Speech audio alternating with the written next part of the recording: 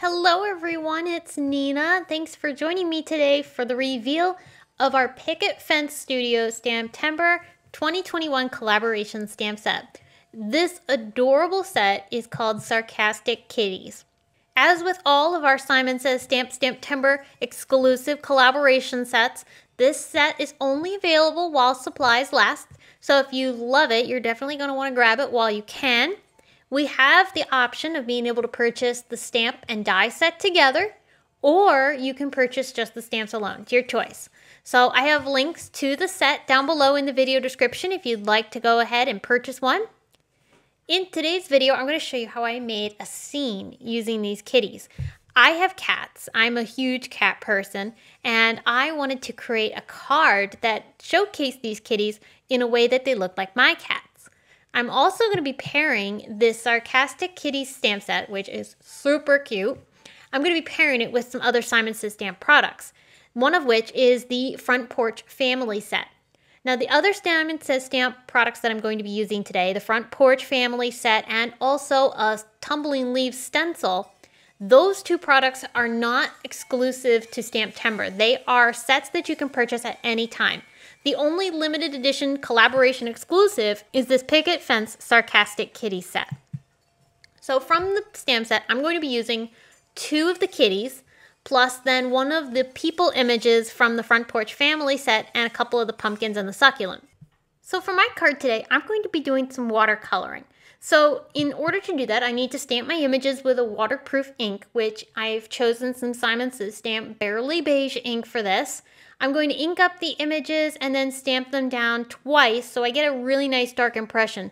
Because I am stamping onto watercolor paper, it's textured and so stamping can be a little bit difficult on watercolor paper. So I wanted to make sure I got a crisp, clean impression, so that's why I stamped twice. All right, so now we're gonna do the watercoloring. I'm using Karin markers to do the coloring today. I love their vibrancy and how easy they are to blend.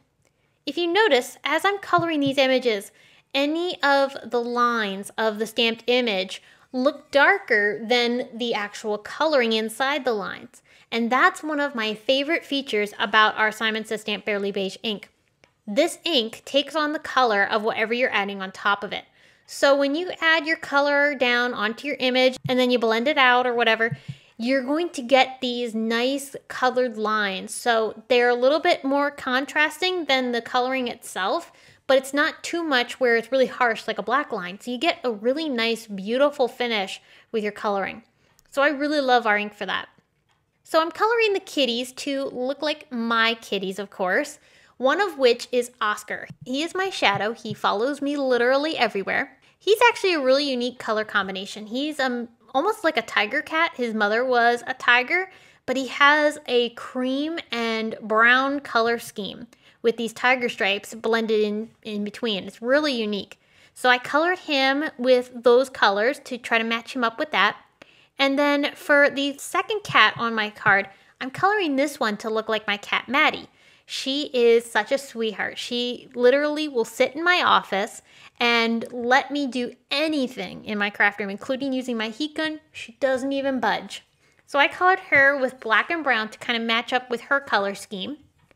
Now that I have all the coloring complete, I am going to use a Sharpie to fill in the details of their faces. Because of course we stamped with a no-line ink, their faces obviously aren't showing up yet. So I need to fill those in. I used a Sharpie because it is waterproof. So that way if I want to add anything extra after I've drawn in the faces, I can and I don't have to worry about the black bleeding. For the white, I am using a Signo White gel pen. I use that to add highlights to their eyes and nose and also fill in their whiskers. Well, except for Maddie. Maddie looks like she's sleeping. So for her, I actually just colored her eyes to look like she has them closed, but I did use that white gel pen to add in her whiskers. So now that I have the coloring complete, I cut those images out and I'll set them aside while I work on my background. I've chosen some Distress inks. I have the colors here, but I also have all of them linked below in the video description if you want to know the exact colors that I used. I'm going to ink blend these colors through one of our Simon Says stamp stencils. This is the Tumbling Leaf stencil. And like I mentioned earlier, this is one of the products that I'm using today that is not a collaboration set and is not limited edition. this stencil is available at any time of year. So you can purchase this stencil at any time. You don't have to worry about it selling out. I'm coloring the stencil with these inks and I'm working in a swoosh. I have, you can see the, the lightest colors kind of fading from the left up to the top right corner. So that's creating a really unique bit of movement on this card and it's going to also create a beautiful background, very fall themed with the rest of my images I'm going to add on top. So once I have the stenciling done, I'll remove that stencil and I'm going to come back in with those same ink colors to ink blend over top of the stenciling very, very lightly. I'm not heavily adding this ink down. I just want a little bit of color behind the leaves to soften them and also to add more color to the background because there's a lot of white here and I thought it was a little too harsh. So if I add this color down, it's going to soften everything up a little bit and it's going to add just more color to my card in general. So I'll make sure I fade that color out past the leaves just to give everything a really nice shading. I did add some water splatters, which I let dry, so you can see those in the background here.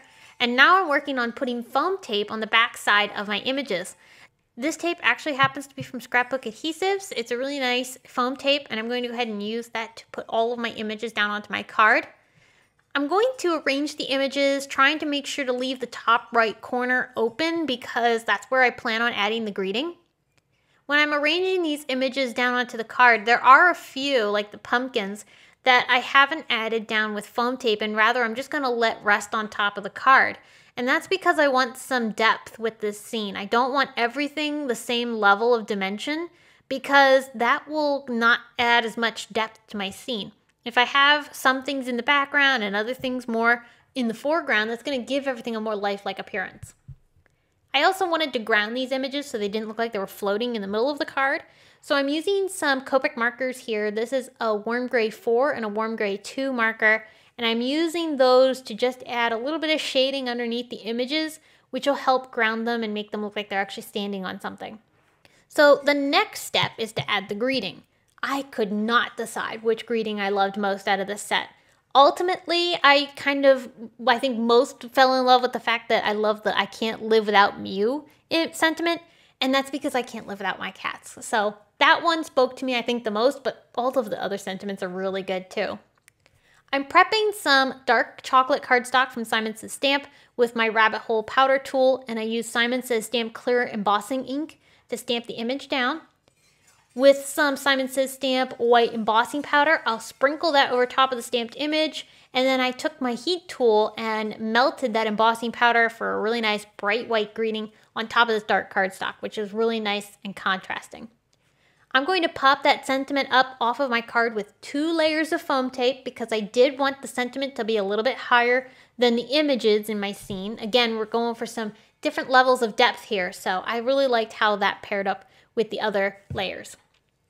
With a Simon Says Stamp glue stick, I'm going to stick a bit of adhesive on the backside of a pattern paper strip. I cut this into a really thin border. This is a nice basic striped pattern. It was a black and white striped pattern that I had in my stash. I don't know which pattern paper it came from, but black and white stripes are pretty common. So find any in your stash if you were trying to recreate this card. Find any in your stash that is kind of close. So along the top of my card with that strip, I'm also adding some twine. This is some May Arts twine and I just tied it in a bow underneath that paper strip. And with the Simon Says Stamp Hearts Party die set, I'm going to use that to cut a bunch of orange hearts that I cut from burnt orange cardstock from Simon. I glued one of the hearts to the bow, but then the rest of the hearts I'm going to scatter around my card. When I'm attaching these down, I am using some Simon Says Stamp Craft Tacky Glue. This is a thicker adhesive and if I kind of blob it up a little bit underneath of my little die cuts, it actually will hold its shape and so then the die cuts will be raised off of the surface of my card just a little bit. And so that adds another layer of dimension, just something very small, but it does make a good impact. So I'm just carefully laying those hearts into the glue and then I'll let those dry. And once they are dry, look how cute this card is.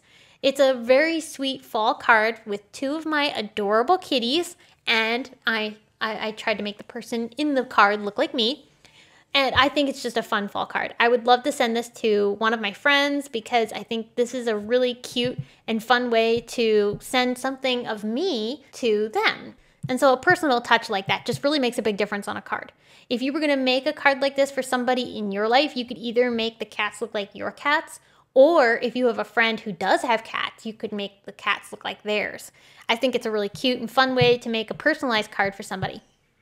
So don't forget this Simon Says Stamp and Picket Fence Studios Stamptember collaboration set called Sarcastic Kitties is not only super cute, but it is limited edition and only available while supplies last. So if you would love to get this set and be able to create some fun cards with it, don't wait too long. It is going to be very popular, I'm sure. You can find links to the set down below in the video description and also over on the Simon Says Stamp store. Thanks again for watching. I hope you were inspired today. I hope you enjoyed. And I can't wait to see you again very soon with more inspiration.